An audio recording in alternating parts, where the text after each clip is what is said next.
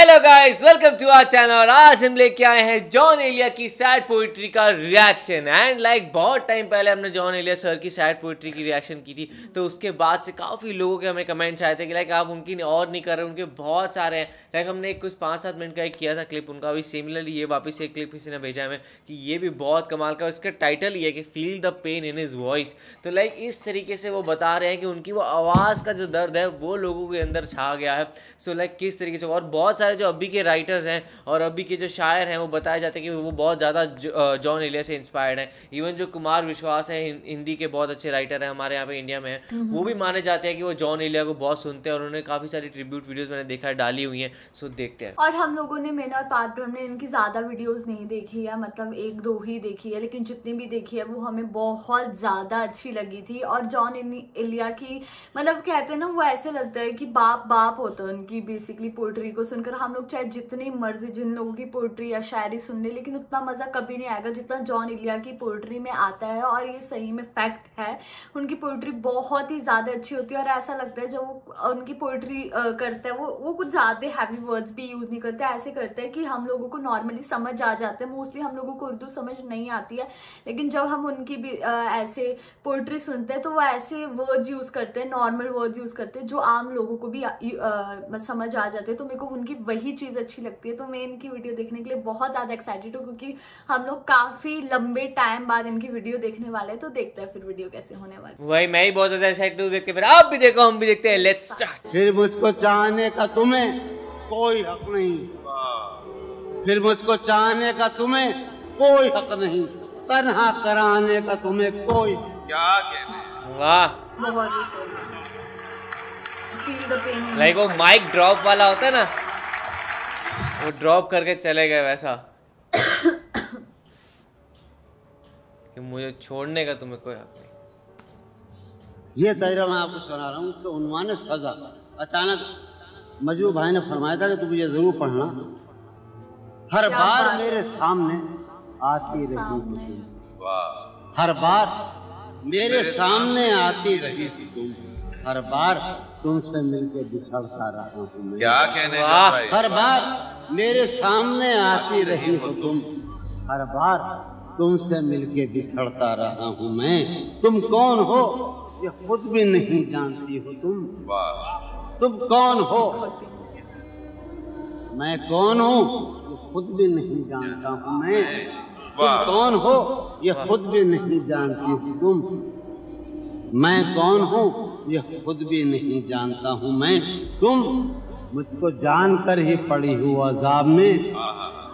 तुम मुझको जानकर ही पड़ी हो अजाब में। और इस तरह खुद अपनी सजा बन गया हूँ मैं। क्या कहने तुम मुझको जानकर ही पड़ी हो अजाब में। और इस तरह खुद अपनी सजा बन गया हूँ मैं। तुम जिस ज़मीन पर हो मैं उसका खुदा नहीं। अच्छा। तुम जिस ज़मीन पर हो मैं उसका खुदा नहीं। बस सरबसर अजियत व आजार ही रहो। तुम जिस ज़मीन पर हो मैं उसका खुदा नहीं बस सरबसर अजियत व आजार ही रहो। बेजार हो गई हो बहुत ज़िंदगी से तुम। बेजार हो गई हो बहुत ज़िंदगी से तुम बेजार हो गई हो तो बेजार ही रहो। तुमको यहाँ के सायों पर्तों से क्या गरज? क्या बात है। तुमको यहाँ के सायों से क्या गरज। तुम अपने हक में बीच की दीवार ही रहो। हाँ। मैं इब्तदाई से बेमेहर ही रहा। ये भी एक टेक्निक है साहब ज़िंदगी की। मैं इब्तदाई से बेमेहर ही रहा। तुम इंतहाइश का मेयार ही रहो। क्या वाह। खून हो। ये सुनकर खुशी हुई। वाह। क्या कहा तुम खून थूकती हो। तुम खून थूकती है। ये अच्छा, सुनकर खुशी हुई इस रंग इस अदा में भी पुरकार ही रहो। क्या थूकती हो। क्या कहने भाई ये सुनकर खुशी हुई क्या कहने? इस रंग इस अदा में भी पुरकार ही रहो। मैंने ये कब कहा था? मोहब्बत में है नजात। भाई, मैंने ये कब कहा था? कि मोहब्बत में है नजात। मैंने ये कब कहा था वफादारी रहो। क्या बात मैंने ये कब कहा था मोहब्बत में है नजात। मैंने ये कब कहा था वफादार ही रहो। अपनी मताए शौक लुटा कर मेरे लिए। अपनी मताए शौक लुटा कर मेरे लिए बाज़ार इल्तिफात में नादार ही रहो। कमाल है यार। मोहब्बत में नजात मैंने ये तब कहा था वफादार ही रहो। जब मैं तुम्हें नशात मोहब्बत न दे सका जब मैं तुम्हें नशात मोहब्बत न दे सका गम में कभी सुकून रिफाकत न दे सका जब मैं तुम्हें नशात मोहब्बत न दे सका। गम में कभी जब मैं तुम्हें नशात मोहब्बत न दे सका। जब मैं तुम्हें तो दर्द के नशात मोहब्बत न? दे सका। गम में कभी सुकून रिफाकत न दे सका। जब मेरे सब चरागे तमन्ना अब आते हैं।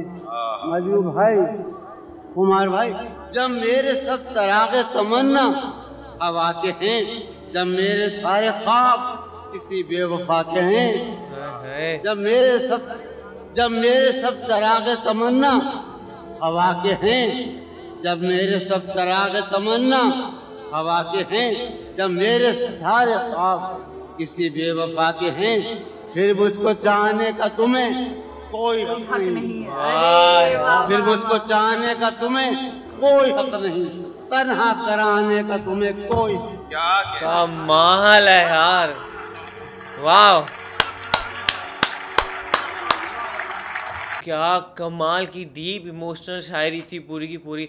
एंड वो लास्ट में खुद वो उनके आँसू आने लग गए थे और खुद इतना ज़्यादा सेंटिमेंटल हो गए थे ना। उनको देख के वही जो टाइटल लिखा होता है कि feel the pain in his eyes वो वैसा ही था उनकी वो पेन देख के ना इतना दर्द फील हो रहा था। एंड साथ में वो जिस तरीके से जिस वो एक अंदाज के साथ कहते हैं ना लाइक हर एक चीज़ उनके साथ घटी हुई हो और वो सामने से सीधा वो कन्वर्स ही कर रहे हैं लाइक वो ऐसे हमें एक शायरी नहीं सुना रहे वो कन्वर्जेशन ही कर रहे हैं कि लाइक तुम्हारे को क्या हक है तुम मेरे साथ ये करो। और तुम्हें अगर इस तरीके से रहना लाइक वो तुम खून थूकती हो ये मेरे को जान कर अच्छा लगा। लाइक वो सुन वो बातें वो ऐसे ऐसी कर रहे हैं ना लाइक उनका वो दर्द छलक रहा है और पता लग रहा है कि लाइक उनके साथ कुछ ना कुछ ऐसा हाँ। इंसिडेंट हुआ है जिसकी वजह से उनका ये सारी चीज़ें बाहर आ रही है। और सेम मुझे भी ऐसा ही लग रहा था कि उनको बहुत ज़्यादा बुरा लग रहा था और जब तो वो लास्ट में उठकर चले गए तो, तुम as a hundred percent sure थी कि सही में उनको बहुत ज़्यादा बुरा लगा है। और उन्होंने ना उनके साथ कुछ बहुत ही ऐसे बुरा हुआ था, या तो शायद उनको कोई छोड़कर चली गई थी, और ऐसा लग रहा था कि मतलब जिसके लिए भी वो कह रहे थे ना,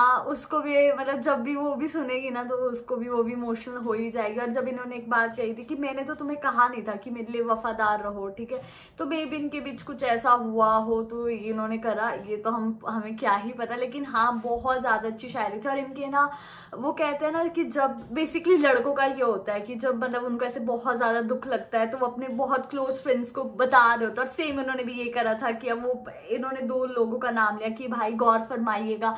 तो मतलब वो उनको दिखाना चाहते थे कि यार उनको कितना ज़्यादा ऐसे हर्ट हुई है वो चीज़, और उनकी बातों से वो चीज़ लग भी रही थी कि वो बहुत ज़्यादा हर्ट हुए और मुझे ऐसा लगता है कि पोइट तुम्हारी पोइट्री या फिर शायरी ही ज़्यादा सुंदर बनती है, जब तुमने खुद वो चीज़ एक्सपीरियंस करी है, जब वो तुम्हारे साथ पूरा घटी घटी हुई है ना वो चीज़, तभी तुम उसको मतलब तभी वो ज़्यादा चीज़ निखर कर आती है। तो सेम मुझे यही लगा कि उनके साथ ये चीज़ें हुई थी, तभी उनकी इतनी सुंदर वो शायरी थी और मुझे हमेशा की तरह जॉन इलिया की बहुत ही अच्छी शायरी लगी पोइट्री लगी। वही, इसके बाद मेरे को ऐसा है कि लाइक मेरे जॉन इलिया सर की वो मतलब स्टोरी पढ़ने के लिए क्या हुआ, कैसे उनके साथ हुआ, क्योंकि लग रहा है कि उनकी बहुत दर्द भरी उनकी कहानी रही होगी और उसके बाद उनका जो सारा दर्द है वो उन्होंने लिखा होगा और बहुत कमाल का लिखा है यार। आप लोगों को कैसा लगा और और भी कोई ऐसी पता हो तो हमें क्वेश्चन ज़रूर बताएगा।